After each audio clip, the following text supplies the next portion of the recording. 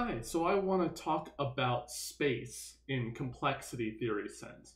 So we've been talking about time, how much time it takes to solve a certain problem. Here I want to talk about how much space is needed to solve a problem. Here we're not going to worry about the time it takes, we're just only going to worry about the amount of space that's used. So what I'm going to define to be some function called space uh, of f of n. So the f of n is going to be the amount of space used. And I'll, I'll define that more precisely in a bit. So what this means is that I want to talk about Turing machines that run in basically f of n or less amount of space. And what does that actually mean about a certain amount of space? Well, if we if we think about what a Turing machine does, then what it does is going to have the tape head, let's say right there. Then at the beginning is obviously at the very beginning, and then it can go over here and then come back and then like go way out here and then come back it's just uh, how do you define what the space actually means? The time makes sense because that's the number of transitions that are taken, but what does the space mean? So the space we're going to define is to be the maximum cell place that you visit. So if the the last cell to, furthest to the right that you visit is let's say that one, then what we're going to define the amount of space that's used is this amount all of this. So we're, that's the amount of space that's used. Okay, all of the cells over here I'm never going to touch because this is the furthest right cell that I'm ever going to see, let's suppose. And so therefore I must cross all of these cells at some point. If I touch a cell, then I'm going to include it in the space uh, allocation. So what does space f of n mean?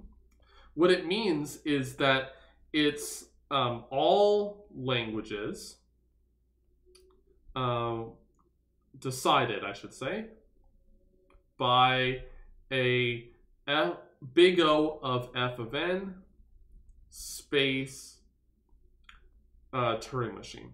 So what does this mean? This just means that for all inputs of size n, then the Turing machine runs in at most f of n space. No matter what the input is, it'll if it go if it takes at most f of n times a constant amount of space, then we say it's big O of f of n uh, space Turing machine. And space of f of n is just all languages decided by such a Turing machine. Okay, so I want to show some examples of one. So we've talked about SAT before. So I claim that SAT is in space of n.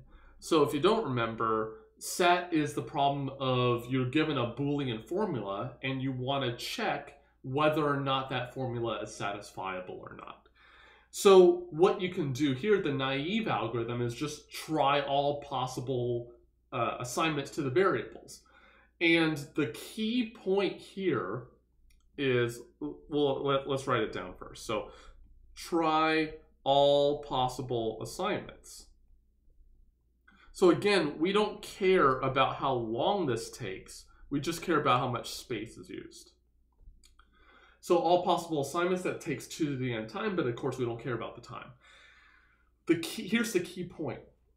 We can reuse space, but we can't reuse time. So if I uh, try a candidate assignment and it doesn't satisfy the formula, then wipe the tape clean or the space that I had for the assignment clean, and then write down the next assignment. Okay, so then uh, what you do then is you're reusing the space over and over and over instead of having to write down every assignment one after the other, which would be a dumb idea because I'm not reusing the space. Just erase the tape and then put the uh, next assignment down and then just keep trying. So then the key here for this problem is to erase the assignment if formula is not satisfied. So formula not satisfied. or, or evaluates the true. And then you return false at the end, of course, if none of the assignments uh, work. None of them satisfy the formula. So if one of them works, then you're good. Um, then you return true. If none of them work, you return false. And I use linear amount of space. Why do I use a linear amount of space? Because I'm just going to write down a single either 0 or 1 for each of the variables. And then all I have to do is just make a copy of the formula and replace all of the variable assignments into the actual formula, and then I can evaluate the formula in place. So therefore, I'm only using a constant times the size of the formula amount of space. And so therefore, SAT can be solved in a linear amount of space for that reason. Cool. So even though this problem is NP complete, which means that we don't know whether or not it can actually be solved quickly, the fact is we don't need a lot of space to solve this problem, which is really nice. Um, but we can talk about a different kind of, of complexity class. So space of n, that was for um, deterministic um, amount of space. So that means the Turing machine is, is deterministic. But we can also talk about a non-deterministic version. So n space of, oops, I, I meant to say f of n here. So this should be f of n.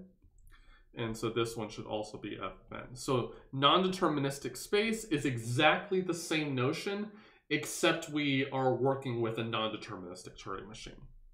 There's a little bit of a um, an issue here because there are choices that can be made. Um, but what we do is we just take the maximum over all inputs of size n across all choices of non-determinism that can occur.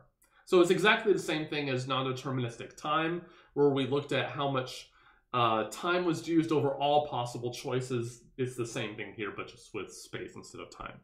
So non-deterministic amount of space.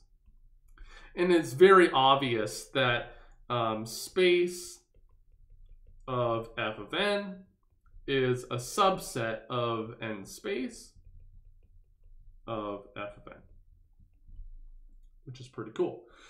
Um, we can also note that since the Turing machine can only move right one position on every single transition, that if we look at the associated amount of time, the things that you can do with the space are at least as much as what you could have done with the time. So time of f of n is a subset of space of the same amount. Because here, uh, even if I move right every single position, I'm still going to have that amount of space and I can reuse the space here versus over here where I can't reuse time. So any problem that can be solved in f of n time can certainly be done in f of n space because I could just move right every single time and I, I won't exceed the budget of space at that point. And of course, if we have non-deterministic time here and non-deterministic space, they are, we have the same inclusion here. Cool. So uh, you can talk about various types of problems that can be solved in a certain amount of time, in a certain amount of space. What uh, I'm going to do eventually on the channel is something relating more uh, to do so with space and non-deterministic space. So all that we know right now is that deterministic space is a subset of non-deterministic space, but uh, how do, how much more deterministic space do I need to be able to solve the non-deterministic space problem? So in other words, uh, if I wanted to have something like this, where I have space on the right side, what do I need to put on the inside in order to guarantee some kind of inclusion like this? And that'll be the subject of the next video.